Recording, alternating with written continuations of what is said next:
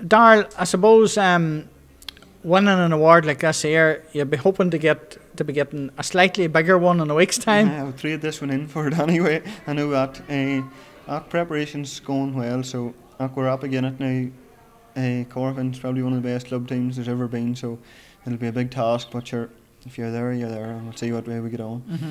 And when you think back on the on the season past, how big an incentive was it? Like, uh, you know, you had come into a number of Ulster club campaigns over the years and hadn't been able to get over that line.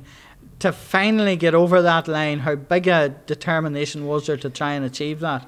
Aye, there's probably a lot of pressure put on ourselves, probably because we'd been there so many times and we just hadn't hadn't got over the line. Uh, so the the, more, the longer it went on, it probably built ourselves. Nobody else was putting the pressure on us, like but and it just was probably relief more than anything just to finally win it at the end of it all. And I suppose it left us going into the All Ireland series with no pressure on us, where anything else was a bonus at that stage. Like, but as I said, it was just relief for the whole club more than anything because you know yourself that. The, the work to get back to that stage again if you ever get back there so it was just nice to win it whenever we got that length and what do you think you know every other year you went out with the same determination and you went out with the same ability and, and everything like that to, to win down and to do well in Ulster. What do you think made the difference in 2019? I, I don't know. Mickey Moore, Mickey Moore had probably a big part to play in it too.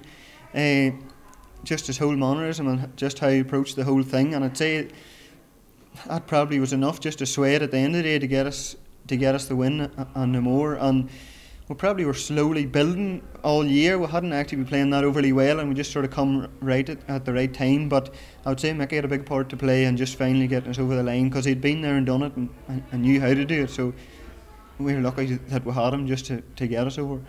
And you mentioned there about that sort of, uh, you know, that weight being lifted off your shoulders in the All Ireland semi final and maybe playing without the pressure.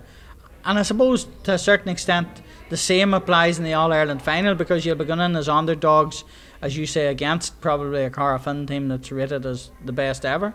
Yeah, that's true. And like, it's probably just a big occasion for the whole club, if nothing else. It's ne- never got there before, and that, and it's it's the, the pressure. It's pressure too. You're in a final, like, but still. Anything, the Ulster was, was set out at the start of the year to try to win, and we've done that. And so, if you win anything more now, it's you're in bonus territory now.